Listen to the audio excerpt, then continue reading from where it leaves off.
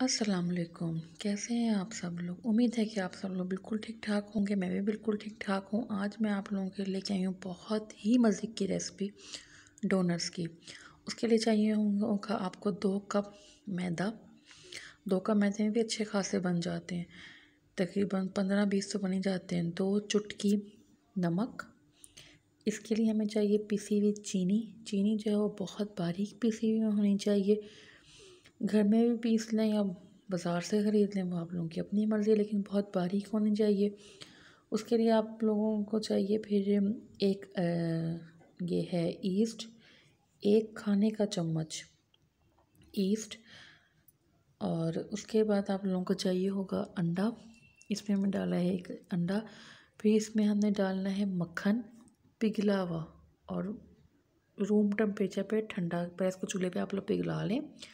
उसके बाद जो है, पिघलाने के बाद इसमें डाल दें रूम टेम्परेचर पे करके, फिर अब इसमें अब डाल दें मक्खन।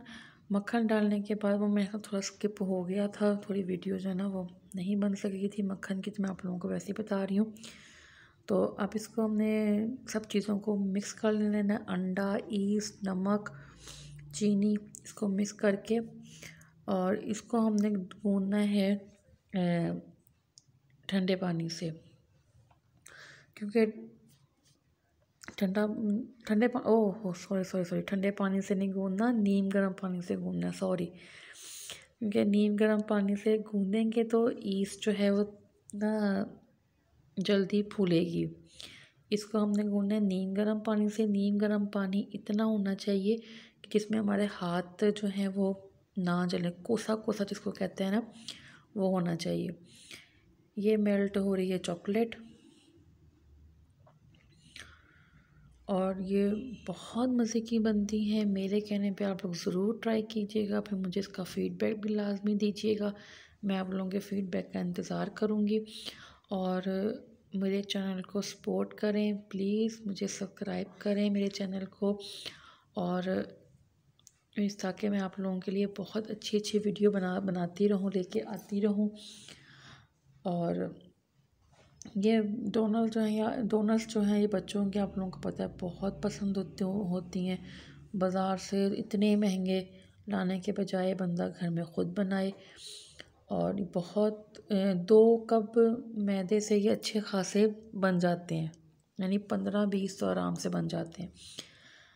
और जो चॉकलेट है, ये मैं एक डब्बा लेके आई थी चॉकलेट का, लेकिन ये हाफ़ लगा था। ज़्यादा नहीं लगा था हाफ़ लग गया था मेरा ना।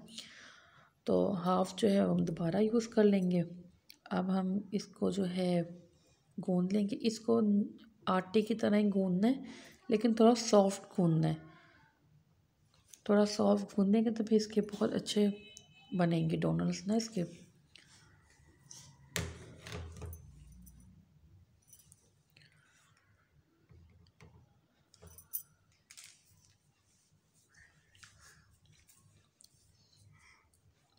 और आप लोग लाजमी ये ट्राई कीजिएगा।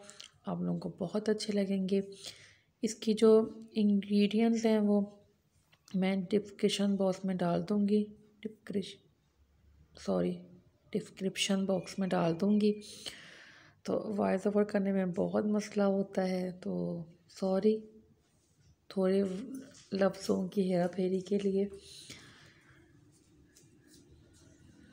तो इसको हमने बिल्कुल आटे की तरह गूंदना है। तो ये देखें सॉफ्ट सा इसको गूंदना है। आजकल जो है वो गला काफ़ी ख़राब हुआ है। सॉरी उसके लिए भी। आजकल जो है वो सर्दियाँ हैं तो आप लोगों ने करना ये है कि इसको किसी गर्म जगह पे रखना है। अब माइक्रोवेव ओवन में रख दें। या किसी बॉक्स वगैरह में रख दें कम ऐसी गर्म जगह जगह पे रखें, जहाँ से ईस्ट जो है वो जल्दी जो है ना, वो फूले इसकी। गर्मियों में तो इसको आधा घंटा लगता है फूलने में, आधा घंटा या घंटा लगता है गर्मियों में। सर्दियों में इसको थोड़ा ज़्यादा टाइम लगेगा, क्योंकि सर्दियाँ बहुत ज़्यादा ही हो गई हैं। सर्दियों में ये बना के रखें, रात को खाएँ, मज़े से, बच्चों को भी दें, आप लोग भी खाएँ। अब इसमें हल्का सा ना मक्खन या तेल लगा के ना इसको मैंने अभी चूल्हे के नीचे हमारा बॉक्स है, मैं इसको वहाँ पे रख दिया था, क्योंकि वहाँ पे हीट थोड़ी सी ज़्यादा होती है, वहाँ पे मैंने इसको रख दिया था। तो मैं आप लोगों को कह रही थी कि सर्दियाँ ज़्यादा हैं तो रात को मज़ा आता है। सर्दी तो बहुत हो गई, क्योंकि रातें लंबी हो गई हैं। सर्दी में होता है कि बंदा कोई चीज़ें खाए तो ये बनाएँ, बना के रखें और इन्जॉय करें। और मुझे अपनी दुआओं में याद रखें। तो उसके बाद हम इसको आटे की तरह बेल लेंगे और इसको हम जो है ना थोड़ा सा थिक रखेंगे।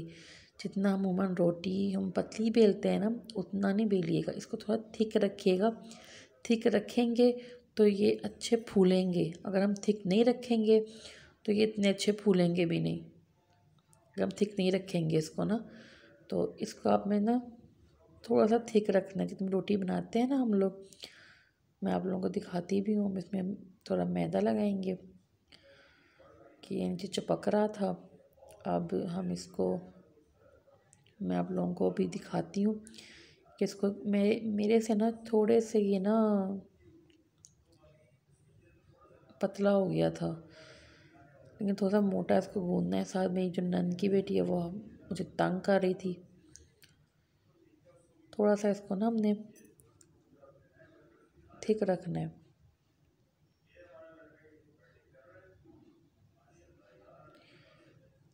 अगर आप लोगों के पास कटर है, इसको कटर से काट लें, अगर नहीं है तो मेरी तरह आप लोग स्टील का गिलास लें, जितना आप जिस साइज़ के आपने बनाने हैं, छोटे बनाने हैं, बड़े बनाने हैं नॉर्मल बनाने मेरे ये नॉर्मल थे, जितने मुमन होने चाहिए थे। अगर कटर नहीं है तो क्या मतलब है? हम लोग बना नहीं सकते हम लोग खा नहीं सकते। सो so, सिंपल से लोग हैं सिंपल से हमारी बातें हैं। और इसको कटर कटर तो नहीं गिलास के साथ हमने इसको तो उसको शेप दे रहे थे। और इसको जो अब इसको बीच में से इसके सुराख करने हैं जिससे डोनट्स बनते हैं उस तरह।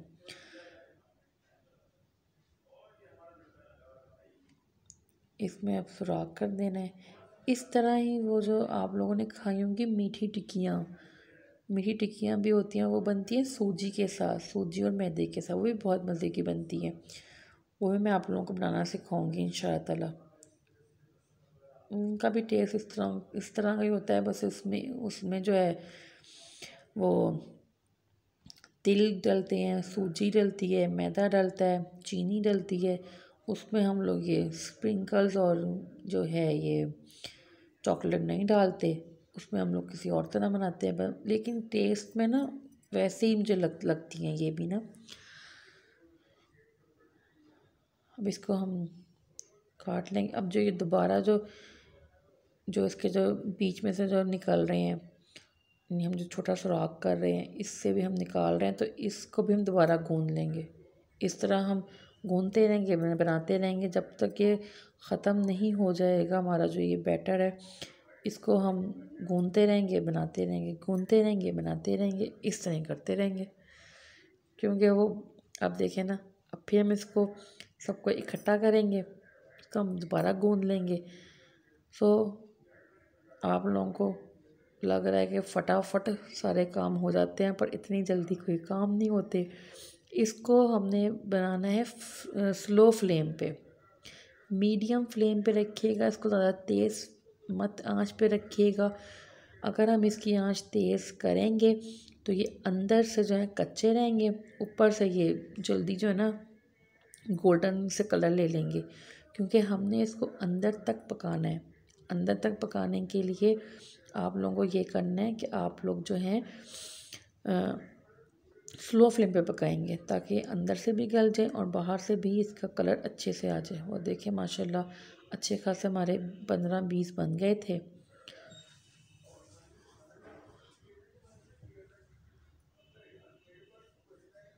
ये देखिए, माशाल्लाह, मैं बना रही थी ये हल्की आँच पे तो कितना अच्छा इसका कलर आ रहा है। इस तरह का ही हमें इसका कलर चाहिए, थोड़ा डार्क कलर चाहिए।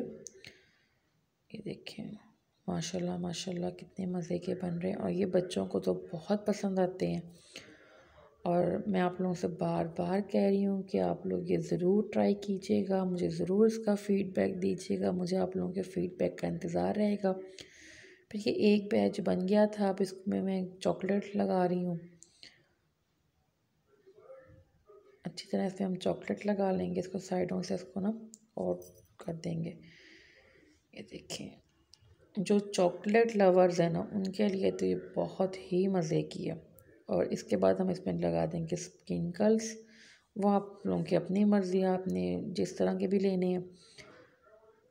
स्प्रिंकल्स लगा देंगे और ये बन गए हमारे डोनल्ड्स ये बहुत मज़े के बने थे। ये देखें ये बन गए। आधे बन रहे हैं, आधे बन रहे हैं। इस तरह ही हो रहा था। सो ये बहुत मज़े के बने थे। आप लोग ज़रूर ट्राई कीजिएगा। मुझे आप लोगों के फीडबैक का इंतज़ार रहेगा। सो बाय बाय अल्लाह हाफिज़। मेरा नए मेरा नेक्स्ट ब्लॉग का इंतज़ार कीजिएगा। अल्लाह हाफिज़।